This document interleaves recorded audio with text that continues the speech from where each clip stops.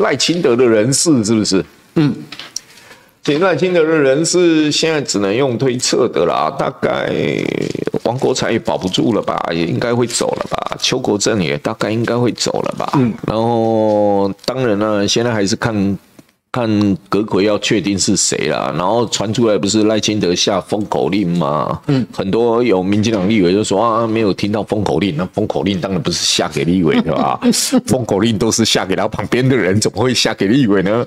对不对？不过，好，嗯。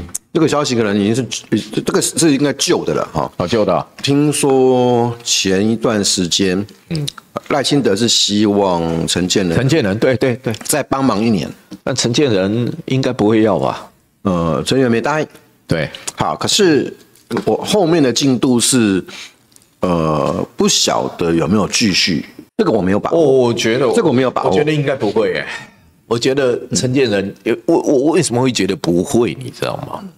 因为立法院现在是三党不过半，嗯，三党不过半。陈建仁在最近在立法院的态态势是强的，强势啊，比较硬啊，哦，嗯。那你面对立法院三党不过半，一个强势，而且对蓝营强势，其实并不是好事哎，嗯，那就有一种感觉，我的未来照啊。我就是要走了，我未来照啊！我干嘛还忍气吞声那种感觉？可是陈建仁也不是也不是乱发脾，不要说他发脾气的，因为他比较硬，也不是乱硬。唐凤其实其实还好，因为唐凤可能并不适合担任部会的首长。首长，唐凤其实当政务委员的时候的角色反而比较清楚。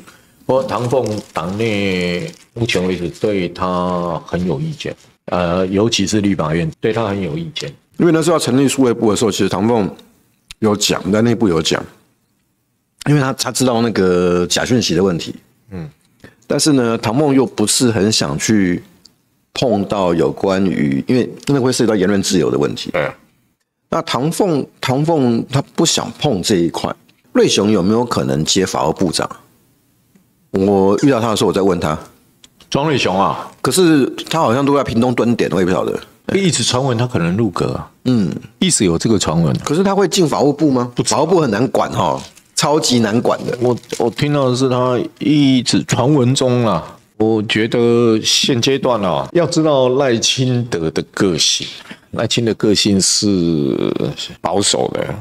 所以他还没决定的事情，他是不希望被外界知道的人啊。